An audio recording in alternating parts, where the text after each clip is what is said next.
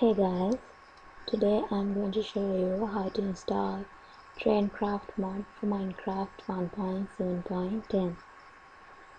Mm, first of all, install the latest version of Minecraft Forge and then download Traincraft mod. You can download the Traincraft mod from the link below in my description.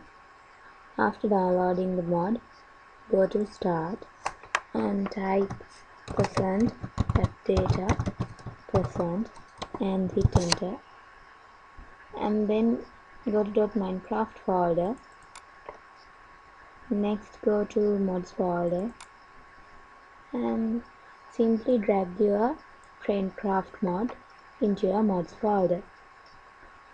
Okay guys this is the way to install Traincraft mod for Minecraft 1.7.10 if you have any problems with installing this mod, please comment so I can help you. Thanks for watching. Do subscribe.